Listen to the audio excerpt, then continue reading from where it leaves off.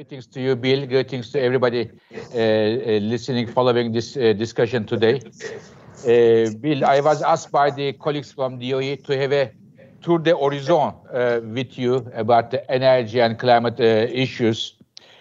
I would like to start with a, a, a, the concept and a, typical, I mean, in my view, one of the most important concepts of the fight against climate change, which is innovation why do I want to start with innovation? Because you are one of the leading voices when it comes to innovation, the clean energy technologies. And second, the colleagues uh, who are organizing this meeting, the ARPA-E, they are uh, supporting a lot of uh, important uh, innovation uh, technologies in terms of the government uh, support. Now, let me start with the, this question what, what kind of role you think governments should have in order to foster innovation in terms of clean energy technologies at home and also uh, uh, globally?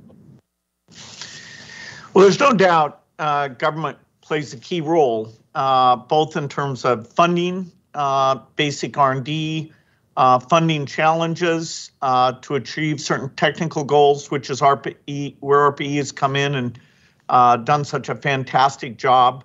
Uh, you know, having great people backing some of these early stage companies. Uh, it's been fantastic to see. The government also, though, has to uh, fund projects to get uh, technologies up to scale and create a demand for green products, even when they sell at a higher price, the so called green premium. Uh, that I highlight as a key metric of the progress we're making. You know, how can we get started on green steel or green cement unless we have some resources, uh, including from government, that help create demand there so we can start scaling these things up and get on that learning curve. You know, innovation rarely comes in the form that immediately it eliminates the green premium. It's a series of innovations, uh, and you have learning by doing which has been so successful with solar and land based wind and lithium ion batteries, uh, that as the scale went up, uh, in some cases we were even surprised by those incredible cost reductions. So we need to you know, look at all the different sectors and activate innovation uh, in those sectors, uh, including the hard ones.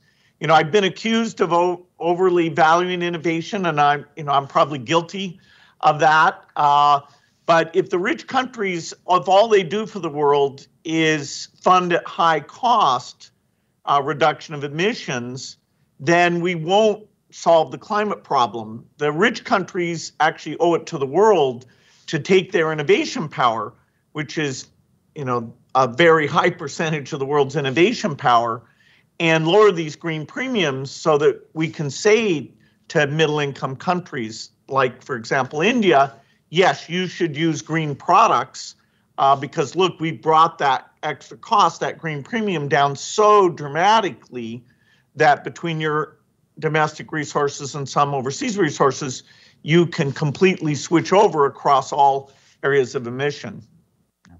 Uh, uh, fully agree with you, uh, Bill.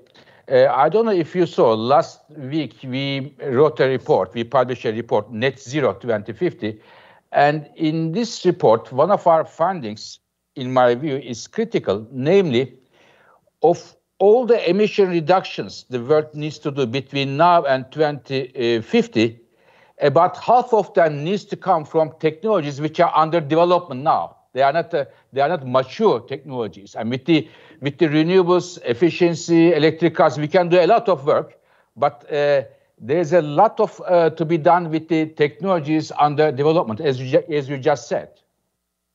Yeah, I thought that report was very important because, you know, the IEA uh, does such a good job of, you know, tracking what's really going on with energy usage and then projecting out that unless something dramatic happens, both on policy and innovation, uh, the amount of energy we'll be getting from hydrocarbons, even out in 2030, 2040, 2050, will still be very large. And so to have your group come out and say, well, to achieve these goals, uh, you know, here's milestones and here's new product areas like green steel or green cement exactly. that we don't have any reasonable approach uh, for those today. The the cost premium, say for cement, uh, is about double if you just uh, try and, and solve that in a in a brute force way. And so, you know, I, I hope people really look at those milestones. You know, you had 2035 uh, rich countries having uh, green electricity generation.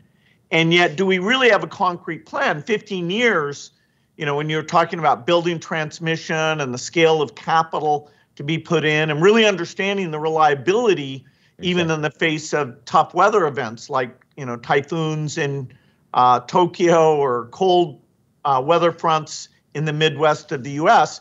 You know, we should li- literally, and my Breakthrough Energy Science Group is working on this. We should have models that we can look and do what if, okay, what is that grid look like in Japan or in North America? So, you know, that report uh, is really bridging now the aspirations and the practical uh, considerations. Uh, so I hope I hope uh, that gets a lot of visibility. it gets a lot of visibility. We are very happy with that, but also we are uh, happy, Bill uh, you just summarized it perfectly. The aspirations of the governments, we try to translate it in the concrete actions. We have more than 400 milestones. Uh, uh, what needs to happen and when it has to happen. So uh, these two issues. And one of the topics uh, we cover in our report is the, in my view, a critical technology, which is carbon capture and storage. So uh, as you know, uh, I am sure well, it is not a technology without any controversy uh, around the world. But when we look at the numbers uh, at the IEA, uh, which is our main job, when you look at the infrastructure, especially lock-in infrastructure, uh, the iron, steel, cement, and the others, it's a must. We like it or not. I would very much like to hear your views about the carbon capture and storage, that family. Yeah, so it's there will be some emissions in 2050. You know, we're not going to get rid of cows emitting methane uh, in poor countries, including Africa. Uh, you know, some of the poor countries will still have, uh, you know, gasoline transportation and even some coal plants. And so, if you want to get to net zero, uh, then you'll have to have something that's pulling CO2 out of the air. Uh, you know, I've been the biggest funder of various carbon capture companies, both directly and through Breakthrough Energy Ventures. And you know, today, if you go out like I have to offset my emissions, uh, there's offerings at like $600 a ton. Now, there are projects at much larger scale uh, that look like they have a good chance of getting that down to $100 a ton. Ideally, we'd like to get well below that because you know, even if you have to do 10% of today's emissions at $100 a ton, you know, that's, uh, you know, 500 billion a year, uh, which is a lot, you know, double the total foreign aid uh, at its peak. Uh, so very, very substantial. So it direct air capture has to play a role, including figuring out the long-term safe storage, and we have to get the cost of that down uh, very substantially. You know, if you could get below fifty dollars, which I don't know that you can, uh, then it could play a stronger role. And there are, you know, five or six companies out there uh, doing different approaches, and um, you know, so that there's no way to get to zero without that direct air capture piece.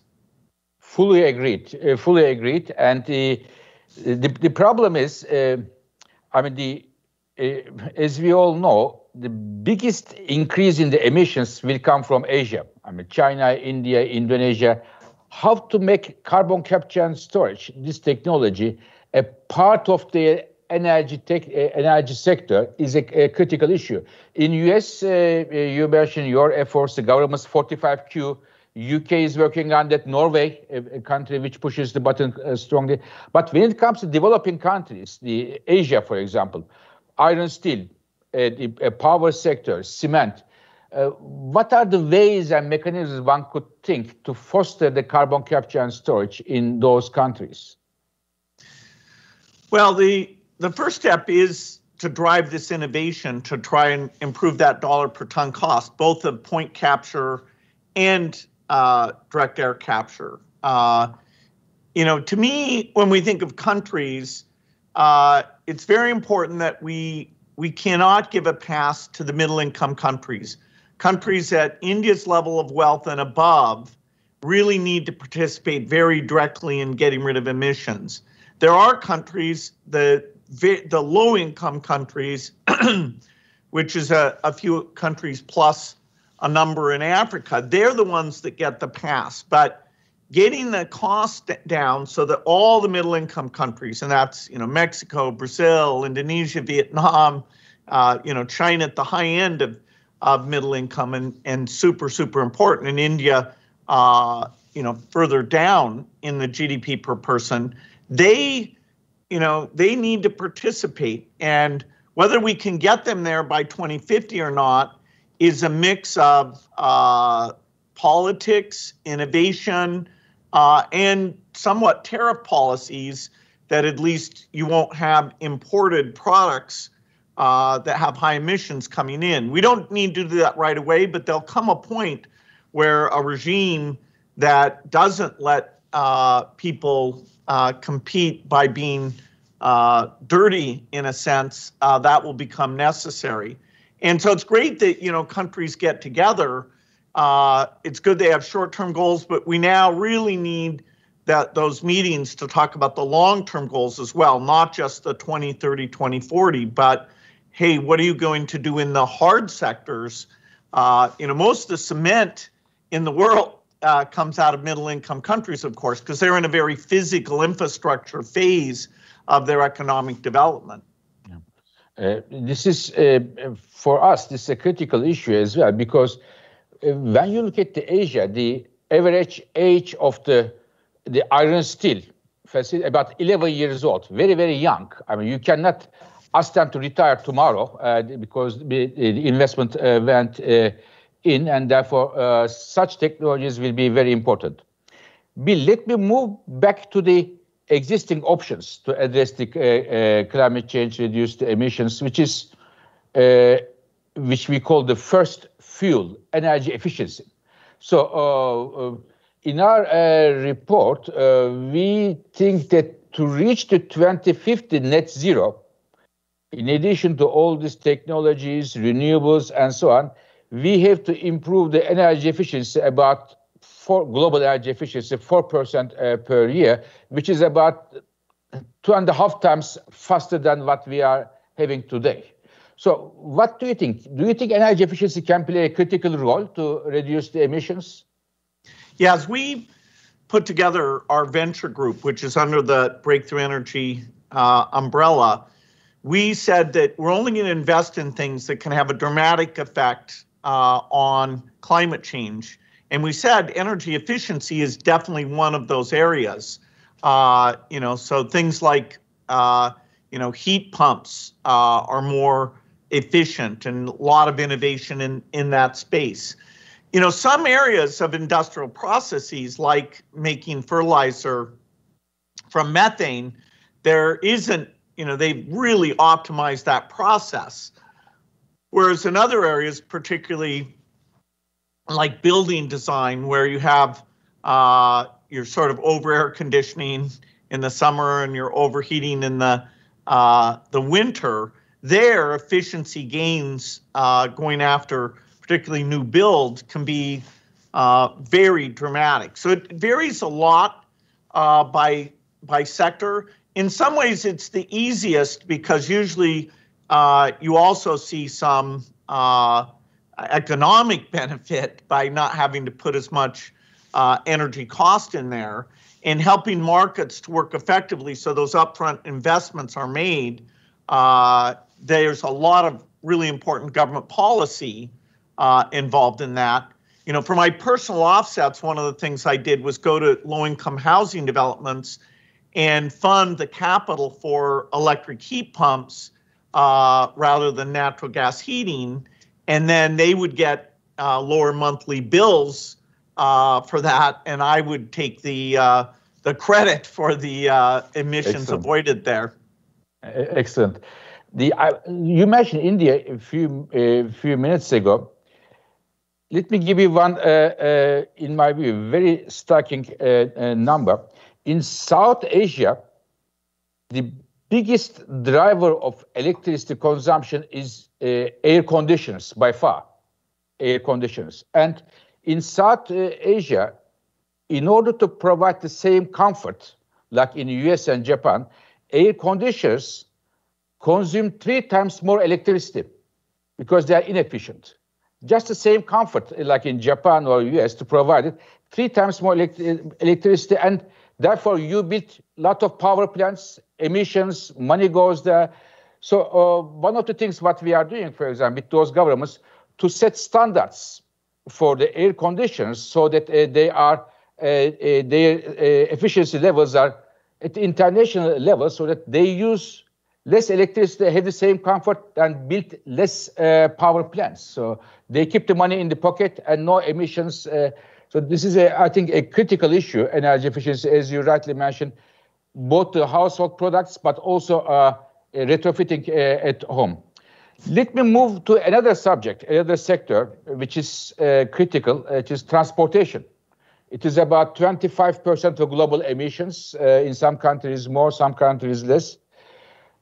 Do you think the electrification of the transportation sector cure uh, can cure all of our problems, or we have to think beyond uh, electrification?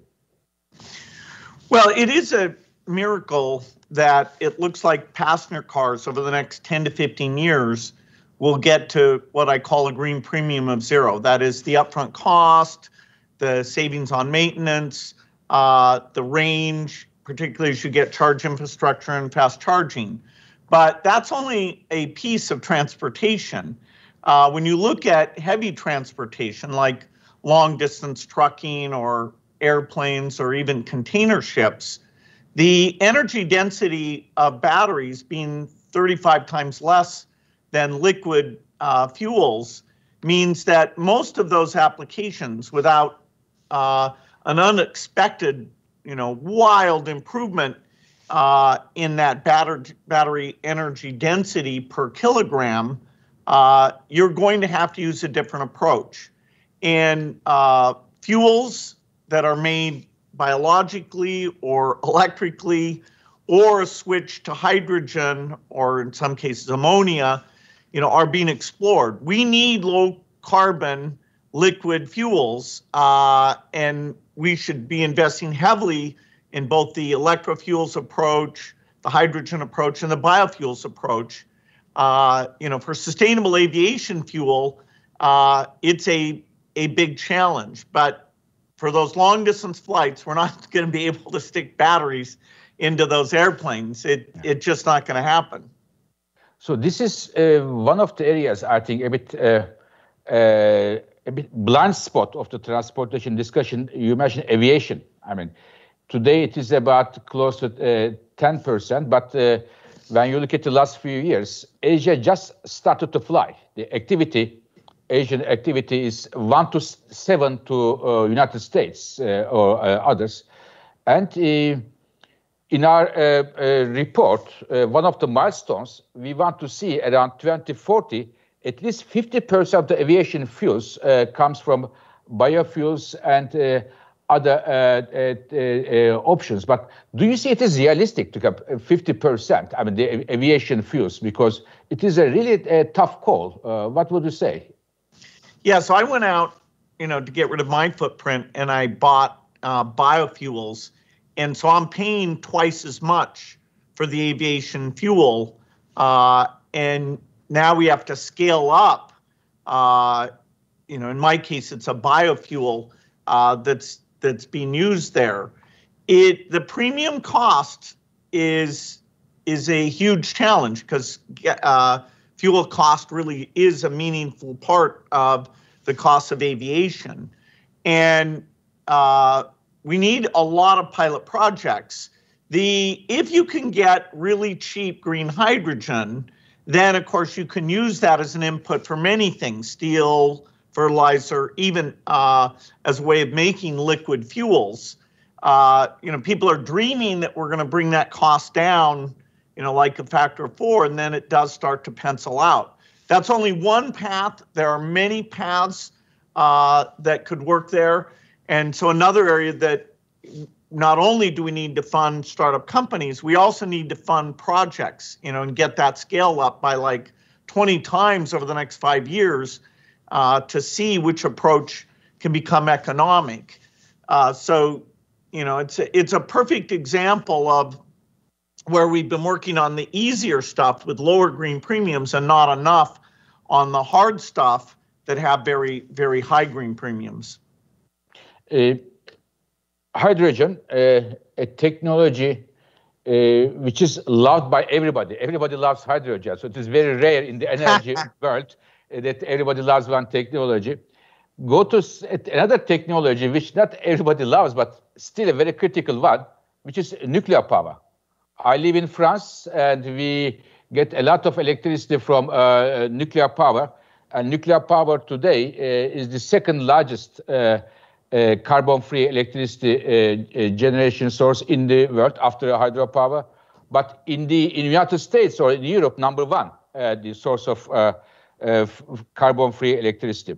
Now, as we all know, there is a lot of debate about nuclear power, but the dropping the nuclear from the uh, options we have would make, in my view, reaching our climate targets much more expensive, if, if at all possible, with the current technologies and maybe the technologies uh, to come.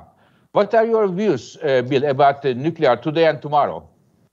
Well, I'm probably the most biased person there is because looking at the lack of from scratch designs in the nuclear fission area and seeing that the existing players, uh, sadly, because of economic challenges they faced as they had reactor cost overruns. Uh, you know, I funded uh, over a decade ago a company called TerraPower, uh, which now has uh, a 50 50 uh, demonstration project with the US government uh, that over the next five years will, you know, show what we can do having started from scratch and doing a, a digital design. The nuclear industry is failing because of cost. Yes, there's problems with safety and waste uh, and proliferation, but uh, the even LNG, which is of course way more expensive than natural gas coming through a pipe in the U.S., it's just made it. You know, it fortunately it's outcompeted coal, but it means that these nuclear plants are like four times more expensive then can be affordable. And so we need to simplify those designs in the name of economics and safety. The fact that it's a weather dependent source, uh, independent source, makes a huge difference. And also that you can store up that heat and only generate the electricity when the sun's not shining or the wind's not blowing, uh, uh, as we're doing in the, the this demo plant, Natrium. You know, I do think it has a critical role to play. And after all, we need to invest on many innovation paths, even fusion, although that one, uh, there's a lot of scientific work there that means we can't count on it. But having non weather dependent, significant sources will allow those grids to work. Like during that typhoon period in Japan, you know, how are you keeping people warm? Uh, the, the storage uh, possibilities can't get you uh, to that level. In fact, you know, right now, um, natural gas with with uh, carbon capture would still probably be your best way, but that comes at a, a huge premium. If I can, one uh, further question on nuclear, a specific one, if you can elaborate a bit. SMRs. Uh, uh, what do you think? Can SMRs be a part of the, at least uh, in some countries, part of the solution? Well, I'm not, the TerraPower reactor is most economic as a large reactor, as a gigawatt reactor, yeah. even somewhat bigger than our demo plant.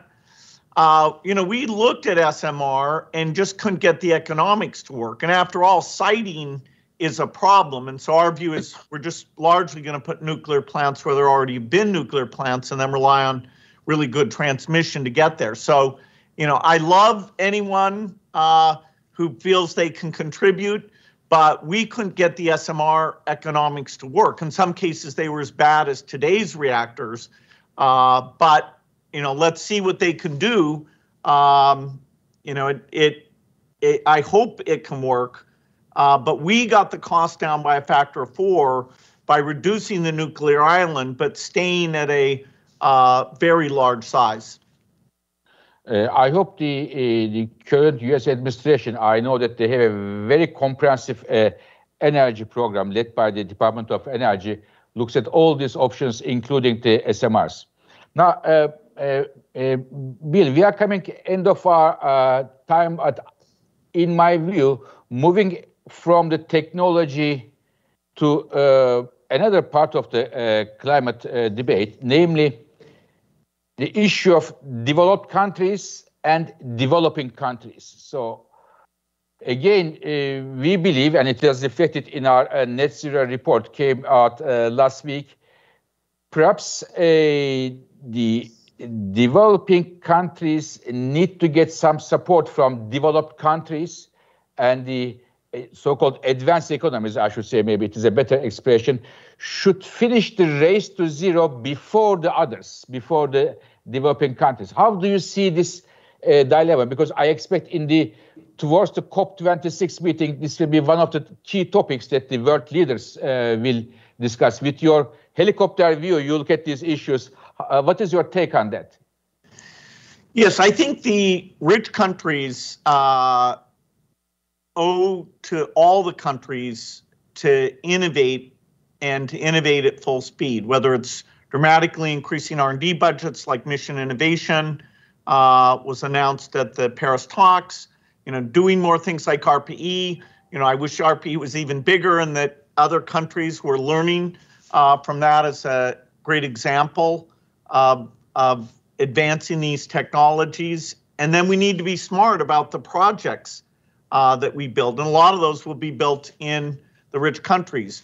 I don't think it serves us well to think of countries in two tiers, developed and developing. That, you know, is such a, a antiquated thing because, you know, the range, there's a, like a factor of 50 range in there.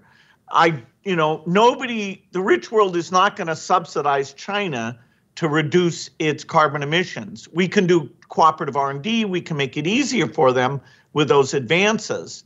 Uh, it just that the numbers are too large uh, to do that. Even all the way down to India, you're not going to have gigantic uh, subsidies there, and and so the innovation pathway is important.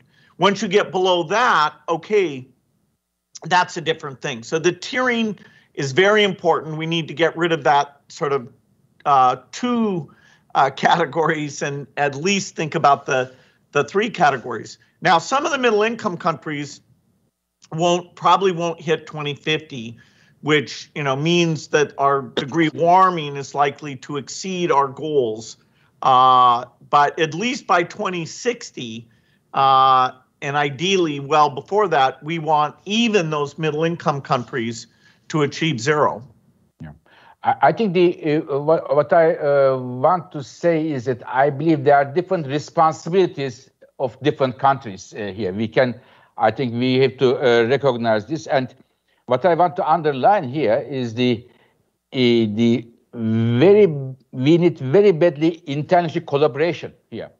We talk about race to zero. Unless everybody finishes the race, nobody wins the race. So therefore, we need everybody to be uh, on board. And here, of course, technology, innovation, uh, as you rightly mentioned, and international collaboration are key uh, words.